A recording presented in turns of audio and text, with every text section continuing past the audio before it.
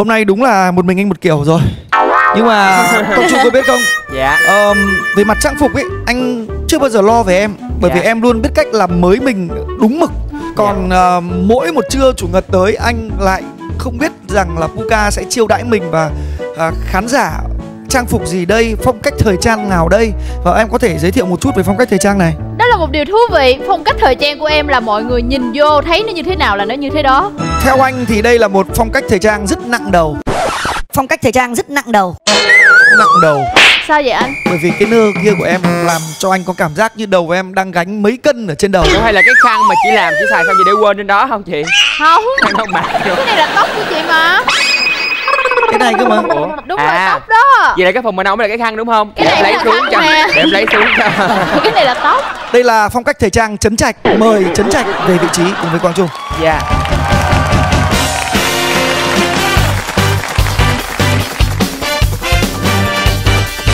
Đến với chương trình của chúng ta ngày hôm nay sẽ là một gương mặt vừa quen lại vừa lạ, vừa lạ lại vừa quen.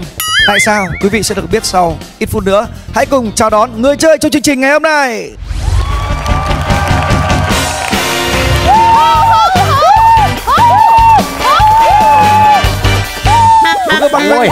Khán giả xin được giới thiệu diễn viên Hứa Minh Đạt.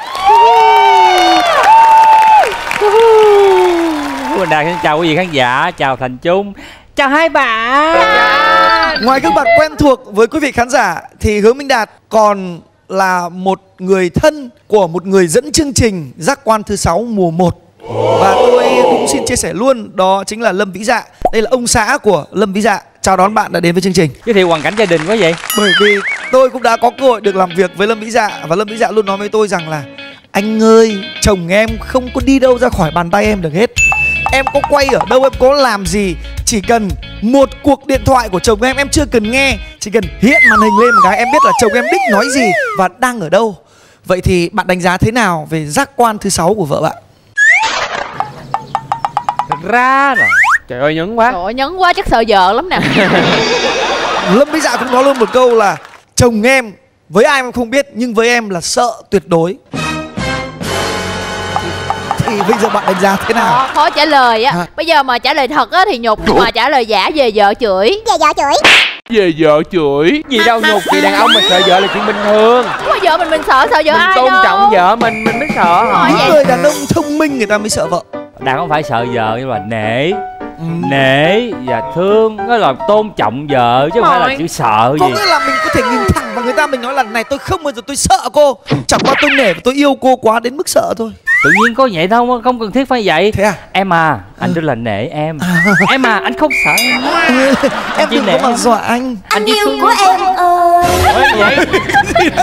Gì vậy. Em biết anh đang nhắc về em có Gì? đúng như vậy không? Đó chính là giác quan của Lâm Vĩ Gia. À, ở trong chương trình này Toàn là anh chị em thân thiết và yêu thương em. Cho nên hãy cẩn thận cái mồm đáng yêu của anh nhé. Là em luôn dùng giác quan thứ sáu của mình Để theo dõi anh Anh không thể nào thoát khỏi em đâu. Chị giả hay là chị quỷ vậy? Dạ chị ma da sợ quá vậy. Ở đâu vậy? Có xuất hiện ở đây luôn không? Sợ chưa? Ơi đổ mồ hôi nhẹ. Phải là nãy giờ mình chưa nói xấu gì hết. Dù có thế nào Tôi với Lâm Vĩ Dạ anh em cũng khá thân Nên hôm nay đừng phải lo Có tôi ở bên cạnh bạn.